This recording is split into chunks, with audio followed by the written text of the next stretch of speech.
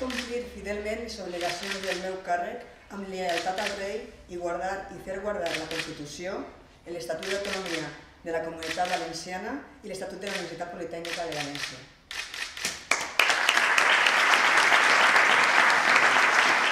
Precisamente estudié en esta, en esta misma casa, yo soy, yo soy licenciada en, en, informática y en cuanto acabé la carrera, pues entré de profesora. Yo creo que leí el proyecto en, en julio y en septiembre ya estaba de profesora. Y pues encantada de estar aquí, es decir, es, es, ya te digo, es un privilegio enorme el poder ser directora de este centro que me ha visto desde, desde los inicios. Pense que l'escola ha de representar a tots i que tots s'han de sentir representats per l'escola.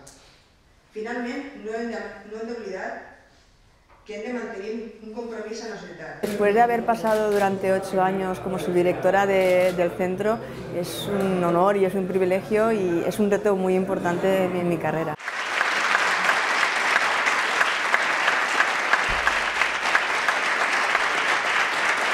Tenemos un gran reto que es el del poder eh, llevar a cabo la implantación del nuevo título de Ciencia de Datos, un, un título muy novedoso y eso nos va a llevar mucho trabajo y mucho tiempo, pero aparte hay otros frentes como el tema de los másteres, que tenemos poca demanda, o incluso el tema de, de un plan de convivencia en el centro, que es importante, son aspectos que tener, consideramos de, de relevancia.